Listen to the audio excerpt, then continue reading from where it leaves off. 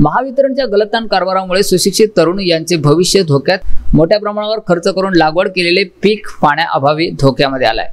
सुशिक्षित असून नोकरी मिळाली नाही मात्र विडोला परिचित जमीन यातच काहीतरी भवितव्य घडवायचे डोळ्यासमोर ठेवून वडिलोपार्जित शेतीमध्ये भाजीपाला पिकांची लागवड केली.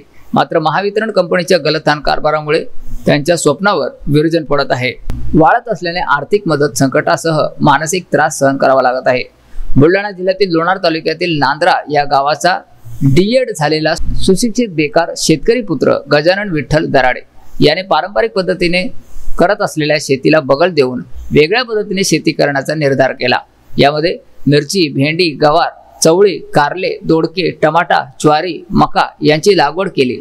मका आणि ज्वारीचे कवळे दाणे धरले होते. भाजीपाला जमिनीवर आला होता. यासाठी जवळपास पंधरा ते वीस हजार रुपये खर्चही करण्यात आला होता. परंतु मुबलक पाणीसाठा असल्याने शेतकऱ्यांना पिकाची पूर्ण हमी वाटत असतानाच विद्युत ट्रान्सफॉर्मरने बिघाड झाल्याने दराडे यांनी लाईनमनशी यांच्याबाबत अनेक वेळा फोनवरून प्रत्यक्ष संपर्क करून विद्युत पुरवठा सुरळीत करण्याची विनंती केली. परंतु लाईनमनने उडवाउडवीची उत्तरे देऊन वेळ मारून नेली. या आमच्या शेतामध्ये आम्ही नुकतीच पंधरा दिवस झाले असतील कदाचित मिरचीची लागवड केलेली आहे.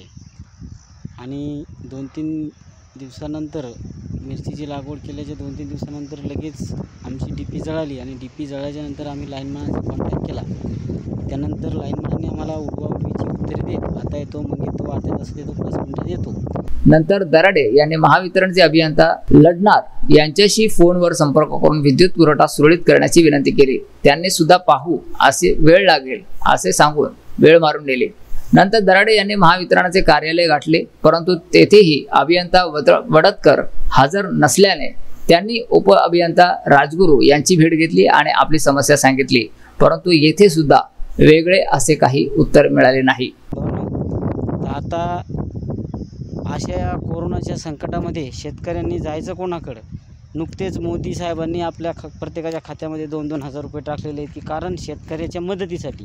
आणि जर शेतकऱ्याच्या मदतीसाठी जर ते पैसे पाठवतात आणि अशा प्रकारचे हे लाईनमन लोक जर पैसे मागत असतील डी पी करता लाईनी करता तर मग शेतकऱ्यांनी जायचं पुन्हा. हाताजराडे शेतकऱ्यांना वाळत असलेले पीक आणि वाहत असलेले पाणी याकडे कोरड्या नजरेने पाहावे लागले.